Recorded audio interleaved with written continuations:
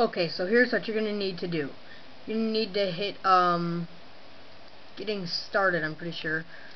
Uh, no, that's not the right one.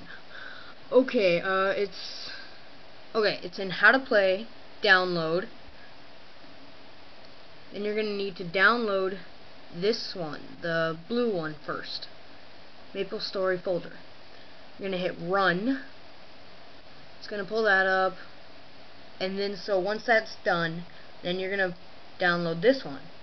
It'll bring you up to Mediafire. Or whatever is there at the time. But, um, second. So then you're going to need to download this one right there. So download that one and then, well, but first actually you're going to need to uh, save and then save that into the queso computer local C disk and then once you have that downloaded it should have Nexon Maple Story and then save it into here so once that's saved, then you can go into here. And so, but you're going to need to, so it'll be saved in here. One second.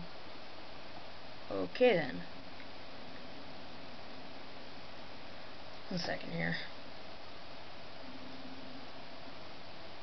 So then you're to need to down, you're, you'll have this saved in here. And then so, but do not hit MapleStory or else it'll start patching.